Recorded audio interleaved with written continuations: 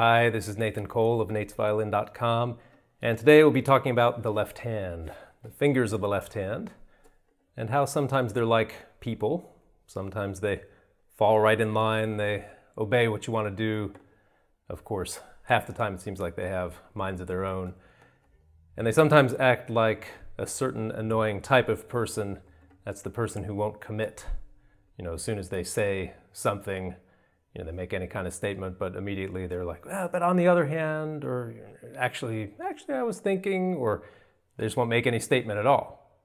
And as you know, you can't make plans with those types of people. You, you can't ever rely on them. The fingers of the left hand often act that way so that you can't rely on them.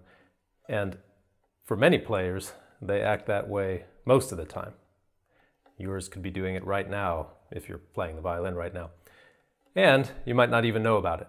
So, what do I mean by that? Let's take a look.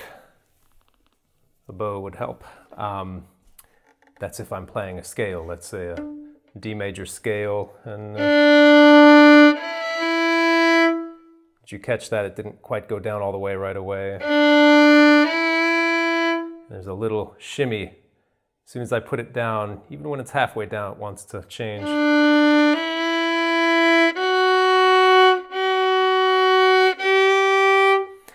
Eventually, it infects every note of the scale. Now, there can be obvious ones and subtle ones, but any kind of adjustment like that, non committing fingers, is bad. Now, why is it bad? You know, it could be audible to your listeners, as, as many of those were, and you could have developed a, a blind spot, or we might call it a deaf spot, so that you no longer hear it, but your listeners do. But actually, a bigger reason than that is that having fingers that go down that way prevents you from building up any kind of speed. It prevents you from building accuracy and, most of all, repeatability because you're never quite going to adjust in the same way twice. So it's a subtle difference in the way you place the, the fingers, but it could yield really big results. And for everyone that I work with, when they get rid of that habit, it's a big change. So here's where it relates to a tightrope. If you've ever been on a tightrope, well, I haven't been on a tightrope, but I've been on balance beams, things like that. You know the feeling, you're kind of testing putting one foot in front of the other. But if you watch a, a real tightrope walker or a champion gymnast, they don't hesitate. You know, their, their foot isn't searching for the right place. They just put one front, one foot in front of the other, and that's what you want. Now, um, a tightrope walker, how do they practice? Um, you know, those stakes are pretty high, right? So they have a net.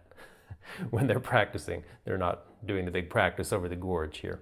Um, now, our safety net is the fact that our stakes are, are pretty low, you know. Um, even if it did happen to be the finals of the Tchaikovsky competition, um, putting a finger wrong is not going to mean that we fall to our doom.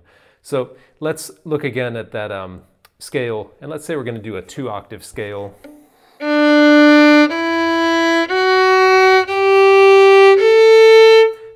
Get a note I don't like. Hmm, my first instinct would have been to, to adjust that, pull it back. I'm gonna sit on it. So you have to be honest about this stuff. This is, you know, real, real talk with the fingers. If you detect an adjustment, if you detect that your finger is going down like it feels like it's searching for the right place, then you've got to pick it back up and replace it. And uh, that's what I was just about to do there. No. But again, as I'm picking up and replacing, I'm never searching. I may try different places to see what sounds the way I'd like, but it always goes down in the same way. So if you don't like where the finger lands, big deal. You get more tries. This is the practice room, all right? And again, you're not, uh, not going to meet an early demise at the, the bottom of the gorge. So, in the beginning, if you're really honest about it and you stop for every adjustment, it seems like it's going to take forever, but this honest way is really the only way. Now, of course, if you're talking about a three octave scale or, or many passages and pieces, the shifts are going to add a new dimension to it. But, you know, even if your hand and your arm change positions,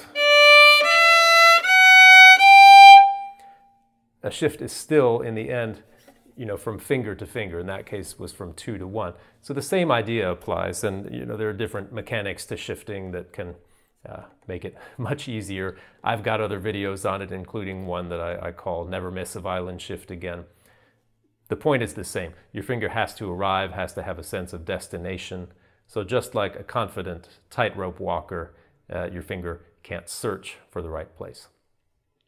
Now, this all sounds awesome, but what about if you're in a performance and uh, you play an out of tune note? Of course, you, you can't sit on that, right?